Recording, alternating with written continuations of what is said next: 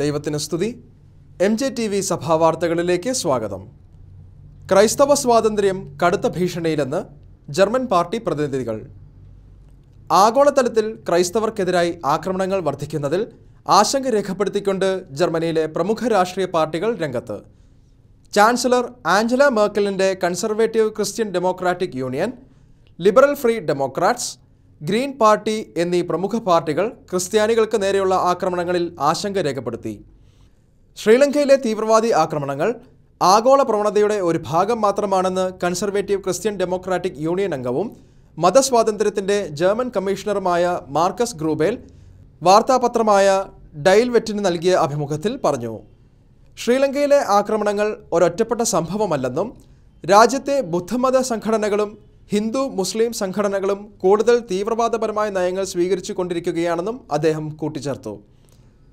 ആഗോളതലത്തിൽ പത്തു കോടിയോളം ക്രിസ്ത്യാനികൾ കടുത്ത മതസ്വാതന്ത്ര്യ ലംഘനത്തിനിരയായിക്കൊണ്ടിരിക്കുകയാണെന്ന് ലിബറൽ ഫ്രീ ഡെമോക്രാറ്റ്സിന്റെ നേതാവായ മൈക്കൽ തെയ്യൂറിന്റെ പ്രസ്താവന.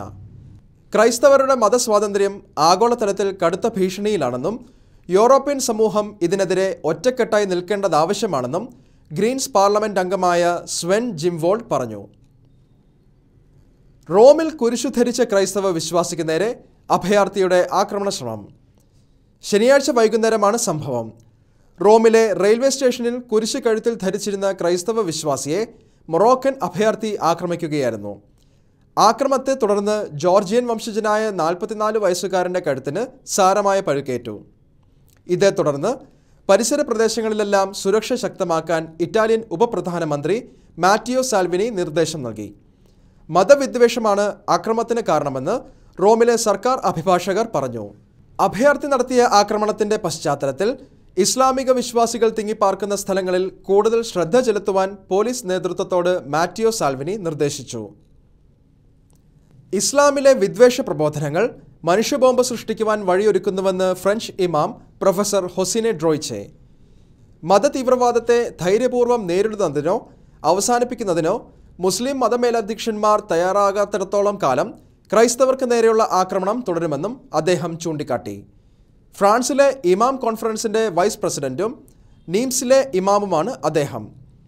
ക്രിസ്ത്യാനികൾക്ക് നേരെ വർദ്ധിച്ചു വരുന്ന തീവ്രവാദി ആക്രമണങ്ങളെ അപലപിച്ച ഇമാം ആഗോളതലത്തിൽ ക്രൈസ്തവർ പ്രത്യേകിച്ച് കത്തോലിക്കർ തീവ്രവാദത്തിനും അടിച്ചമർത്തലിനും കൂട്ടക്കൊലയ്ക്കും ഇരയായിക്കൊണ്ടിരിക്കുകയാണെന്നും കൂട്ടിച്ചേർത്തു.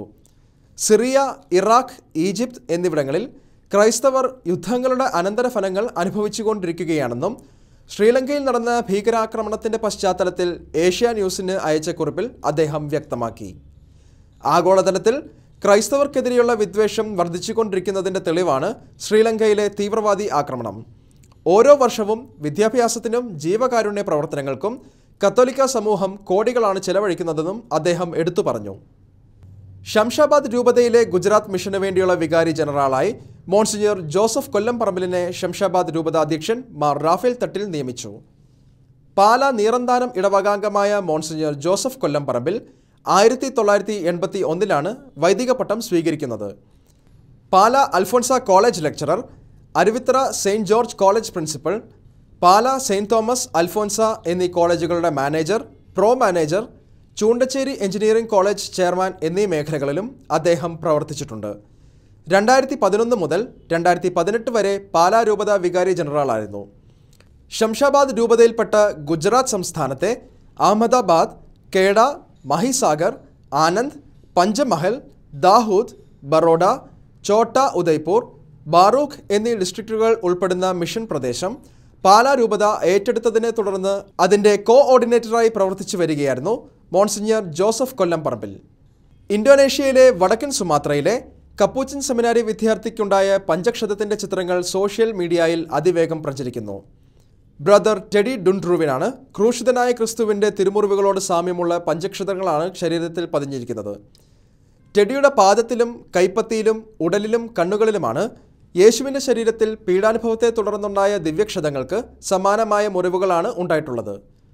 സമൂഹ മാധ്യമങ്ങളിൽ പ്രചരിക്കുന്ന ടെഡിയുടെ മുറിവുകളുടെ ചിത്രങ്ങൾ സത്യമാണെന്നാണ് അദ്ദേഹത്തിന്റെ ബന്ധുമിത്രാദികളും മെഡാൽ അതിരൂപതാധികാരികളും പറയുന്നത്. ഇതിനു മുൻപും ടെഡിക്ക് ഇത്തരം മുറിവുകൾ ഉണ്ടായിട്ടുള്ളതായി അദ്ദേഹത്തിന്റെ ബന്ധുവായ ലൂയിസ് അമൻ വെളിപ്പെടുത്തി. സവേരിയൻ മിഷണറി പ്രവർത്തനങ്ങളിൽ ഏർപ്പെട്ട് ആശ്രമങ്ങളിൽ കഴിയുന്ന സമയത്തും ടെഡിയിൽ പഞ്ചക്ഷതങ്ങൾ ദൃശ്യമായിരുന്നു. ഈ ക്ഷതങ്ങളെ തുടർന്ന് വലിയ സഹനങ്ങളാണ് ടെഡി അനുഭവിച്ചതെന്ന് അമൻ പറയുന്നു. രണ്ടായിരത്തി പതിനാറിലാണ് ടെഡി കപ്പൂച്ചിൻ സെമിനാരിയിൽ ചേർന്നത്. കപ്പൂച്ചിൻ ആശ്രമാധികാരികൾ അദ്ദേഹത്തെ വിദഗ്ധ ചികിത്സയ്ക്കായി ഇറ്റലിയിലേക്ക് അയച്ചുവെങ്കിലും മുറിവുകൾ ഭേദമാക്കാനോ അതിന്റെ കാരണങ്ങൾ കണ്ടെത്താനോ വിദഗ്ധരായ ഡോക്ടർമാർക്ക് പോലും കഴിഞ്ഞിട്ടില്ല. എന്നാൽ ഈ മുറിവുകൾ ആത്മീയതയുമായി ബന്ധപ്പെട്ട അത്ഭുതമാണോ? അതോ മറ്റ് കാരണങ്ങൾ കൊണ്ടുണ്ടായതാണോ എന്നതിനെക്കുറിച്ച് പറയുവാൻ സമയമായിട്ടില്ലെന്നാണ് മെഡാൻ അതിരൂപത വികാർ ജനറാളും കപ്പൂച്ചിൻ പുരോഹിതനുമായ ഫാദർ മൈക്കൽ മാനുരംഗ് പറഞ്ഞത്. ഇക്കാര്യത്തിൽ വ്യക്തത വരുത്തണമെന്ന ആവശ്യവുമായാണ് വിശ്വാസികൾ ടെടിയുടെ മുറിവുകളുടെ ചിത്രങ്ങൾ ഓൺലൈനിൽ പ്രചരിപ്പിക്കുന്നത്. അഗാധമായ ഭക്തിയുള്ളവർക്ക് ലഭിക്കുന്ന ഒരു അനുഗ്രഹമായിട്ടാണ് കത്തോലിക്ക സഭ പഞ്ചക്ഷതങ്ങളെ പരിഗണിച്ചു വരുന്നത്. പഞ്ചക്ഷതങ്ങൾ ഉണ്ടായതായി പറയപ്പെടുന്ന ആദ്യ വ്യക്തി വിശുദ്ധ ഫ്രാൻസിസ് അസീസിയാണ്.